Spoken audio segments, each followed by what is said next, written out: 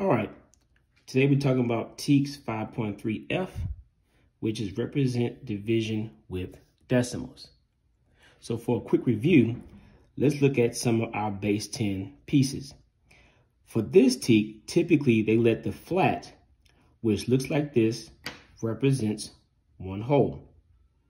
And then our rod or our long looks like this, and it represents one tenth or a dime.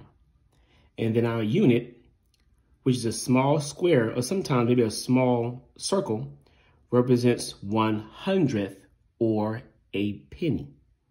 Okay, so based on what we just reviewed, let's talk about what number is this. Remember, a flat is one whole, a rod or a long is a tenth, and then a unit is hundredths or one penny. Well, this is one whole. This is another one whole. And this is considered four dimes. So one, two, three, four. That's zero and four tenths. That means this picture represents two and four tenths. Now I want to divide or separate them into four groups. Now to represent groups, we typically use circles to represent our groups. That means my picture must have four circles. So let's draw four circles. One, two, three, four.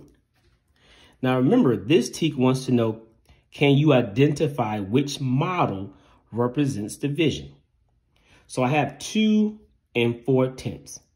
In reality, I have 24 rods or 24 longs because inside of each flat is 10 rods. So there's 10 rods here. There's really 10 rods there, plus four more makes 24. So I'm going to populate each group or each circle with one rod until I reach 24 rods. Once again, I'm going to populate each group or each circle one at a time until I'm completely out of rods. And I should have 24 rods. Let's do it together. One, two, three, four. I'm doing one at a time. Five, six, seven, eight, nine, ten, eleven, twelve, thirteen, fourteen, fifteen, sixteen, seventeen, eighteen, nineteen. 20, 21, 22, 23, 24. I have filled each group with rods and I've now completed all 24 rods. Now let's make sure each group has the same exact number inside. Remember, when we're dividing, we're trying to get to a complete even number or the same amount of pieces in each group. Once again, our goal is to have the same amount of pieces in each group. So I have 10, 20, 30, 40, 50, 60. So this right here is six tenths or six dimes. One, two, three, four, five, six. This is six tenths or six dimes. One, two, three, four, five, six. Again, we have six tenths or six dimes. And then one, two, three, four, five, six. Six tenths or six dimes. So now let's see what we've created.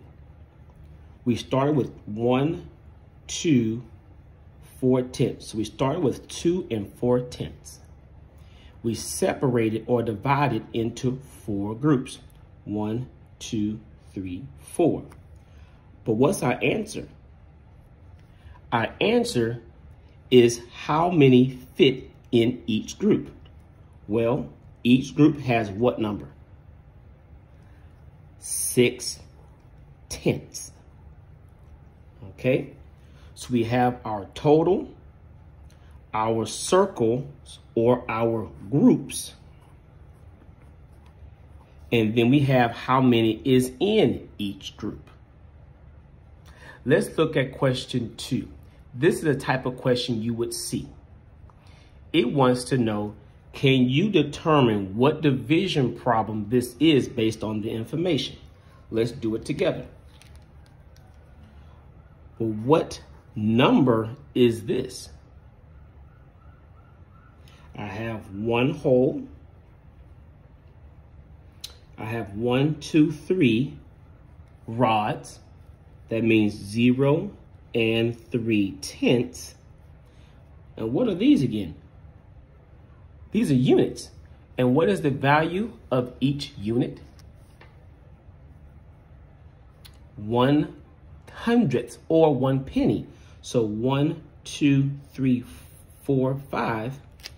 That means zero and zero, five.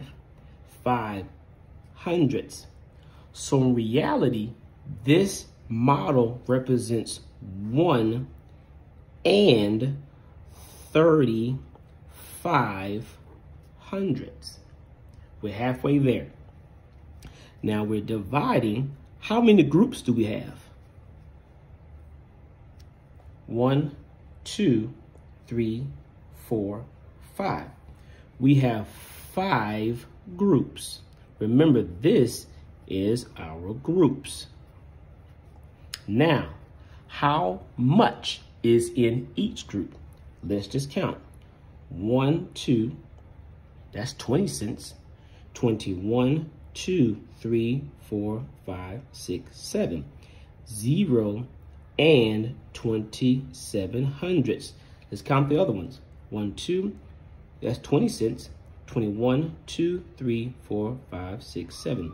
So that means each group has 27 hundredths on the inside. What's our answer? Correct. Our answer is 0 and 27 hundredths. So just remember, the flat represents one whole. The rod or the long represents one tenth or a dime. And then our unit, which looks like this, typically a square or a circle, represents one hundredth or a penny. Also, remember guys, this number here represents our circles or our groups. I know it's four groups because it showed me four circles here. I know it's five groups here because it had five circles. And then what's inside the circle is going to be my answer. Each circle should have the same amount. And that is going to be our answer or our quotient for these problems.